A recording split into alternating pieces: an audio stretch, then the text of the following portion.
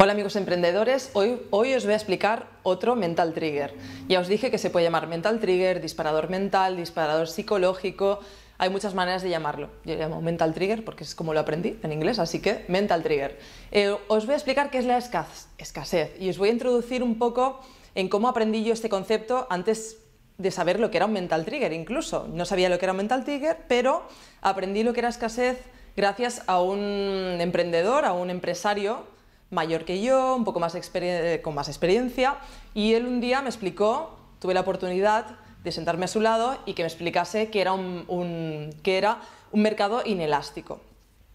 Y no os voy a pegar el rollo de lo que es un mercado inelástico porque es un concepto de economía, es un poco complejo de aprender, pero os voy a dar un ejemplo muy fácil para que entendáis lo que es un mercado inelástico, que es, ¿verdad que cuando un autor, un pintor se muere, sus cuadros se revalorizan?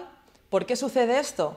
Porque al final tiene unos cuadros que no pueden crecer más. O sea, nadie puede pintar como ese pintor pintaba y nadie puede firmar un cuadro por el, autor. Cuando el, pintor en concreto se muere, sus cuadros siempre se revalorizan.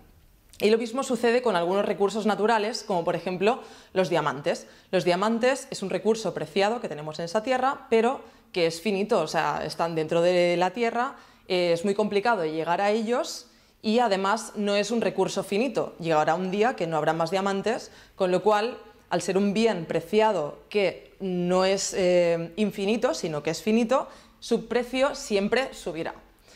Em, todo esto para explicaros lo que es la escasez. Eh, lo que es un mercado inelástico, todo depende de la demanda y del precio.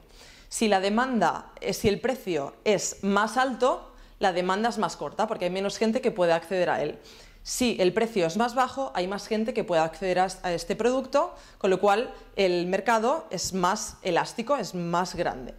Em, por ejemplo, pongamos marcas para que lo entendáis mejor. Inditex, no sé si muchos lo conoceréis, Inditex tiene un montón de marcas que son muy económicas. Tú compras ropa a un precio bastante económico porque producen mucho y ganan un margen muy, muy bajo al ganar este margen muy bajo ellos ganan mucho dinero, pero el margen es bajo.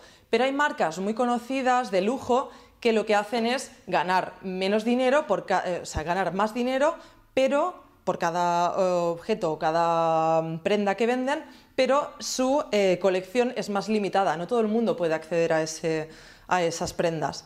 Con lo cual, esa es la diferencia entre un mercado elástico y un mercado inelástico.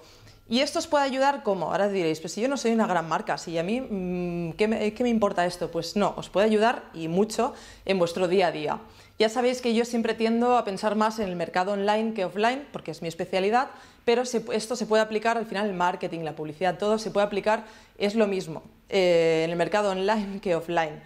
¿Qué podéis hacer?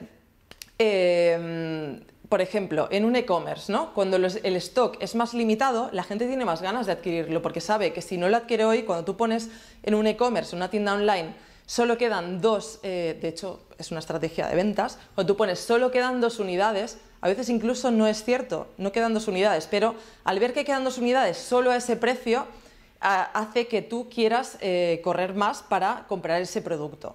En general, todo lo que es limitado hace que la gente tome acción antes. Y os hablo de e-commerce, pero puede ser en, en, el día a día, una colección limitada, algo que sea súper limitado, que sepan, que la gente sepa que eso no va a haber más, o sea, que solo tiene la oportunidad de comprarlo en ese momento y cuando se acabe no va a haber más. Una colección, lo que sea, lo que sea, pero que sea limitado. Por ejemplo, no sé si conocéis la marca OnePlus, que es una marca de móvil que se hacía por invitación. Tú no podías acceder a ella este móvil, es un móvil de una marca china que se hizo por eh, invitación. Si tú querías ese móvil que tenía unas características eh, de un móvil de alta gama, pero a un precio muy económico, tenías que recibir la invitación de alguien que ya había sido invitado por alguien, con lo cual todo el mundo deseaba tener ese móvil. Em, porque son unas unidades limitadas y no puedes tener acceso fácilmente. Con lo cual esa escasez hace que la gente tenga más ganas. Este es el ejemplo de OnePlus, pero que lo ha utilizado mucha gente para eh, hacer que eh, ese mental trigger funcione como una estrategia de venta, una estrategia de marketing. Como os decía, si sois consultores, pues solo voy a trabajar con 20 personas. Si, sois una empresa de servicios, este producto es exclusivo no hace falta que convirtáis vuestro negocio en algo que es súper exclusivo, pero siempre tenéis que tener un producto dentro de vuestra, gama de productos o servicios, siempre tiene que haber un producto que sea un poco más exclusivo, que solo vais a utilizar con una serie de empresarios o de clientes que van a querer ese producto porque realmente tienen el dinero para pagarlo y quieren ser, pertenecer a algo exclusivo. ¿Por qué la gente que tiene mucho dinero compra, compra cosas que son exclusivas? porque a la gente nos gusta demostrar que tenemos la capacidad para comprar ese producto en concreto o ese servicio. Resumiendo, tenéis que tener un producto de alta gama para que ponga en perspectiva a los de baja gama. Aunque nadie lo compre, da igual, pero os hace tener, eh, hace que vuestra empresa sea, se sitúe en un valor superior, ¿no? o que se sitúe en una posición superior a nivel de productos y servicios. Yo recomiendo que lo hagáis y al final como estrategia de marketing ya veréis que funciona muy muy bien eh, porque al final vender, a mucho, vender barato al final significa trabajar más y vender un poco más caro significa trabajar con menos pero que te paguen más y ganar el mismo dinero con un esfuerzo menor. Así que os recomiendo que utilicéis el Mental Trigger Escasez y nos vemos en el siguiente vídeo. Recordad que podéis eh, seguirme en todas las redes sociales que encontráis aquí y nos vemos en la próxima. Un saludo, emprendedores.